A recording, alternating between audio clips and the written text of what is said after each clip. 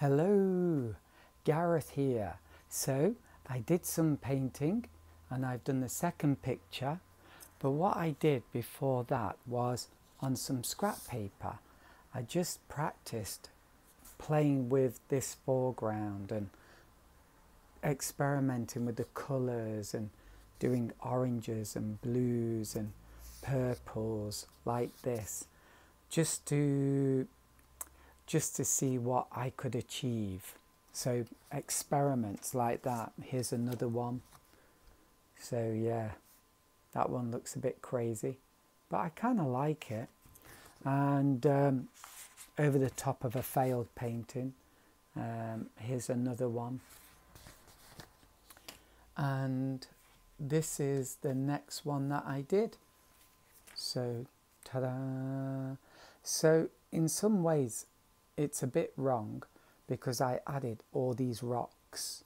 And although I quite like them it's a bit wrong. This is, there's actually a, a kind of flat space here and then a few rocks around this flat area. Um, but still I like it. One thing I did with these rocks is I dropped blue into the wet paint or cobalt green and I think that looked nice. Um, like I said, I, I would do a fainter blue mountain. I'd make the sky lighter and bluer at the top. I think that's kind of good. Maybe this building is too orange at the top. I'm not sure. So if you look at the original one, I think there's something about the original one that's more real and more honest. And then this one is a bit more I'm not sure what.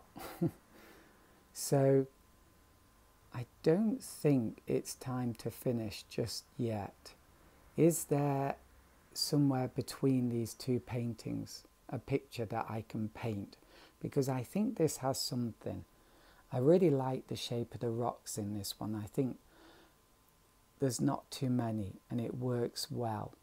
And just, it is a bit monotonous but I think it, it still works well. Whereas this one is a bit maybe too colourful, a bit too over the top, and it needs to be muted a bit. So I'm going to try and get it somewhere between the two of them. Um, and it might be nice to add some figures, but I'm not sure yet quite how to do that. And that might add some direction to the picture.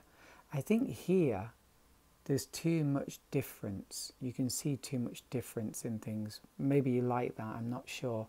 Um, and I think I want to make this foreground area a little bit different in some areas, like some areas a bit lighter, maybe here, just here, but then the rest of it mostly dark. Yeah, and more subtle, like, like the way this one is. So I'm going to try and do that and see what happens. I think this sky is good.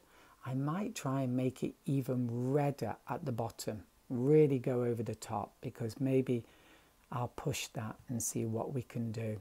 But I like these long stretched out clouds. I think they're nice. You don't have to have them.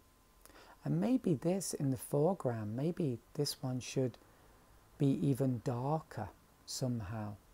So I might try and make this one well, make another painting with even darker in the foreground, see how that works out. So there you go. Um, I'm off now to do the next painting and then I'm off to bed.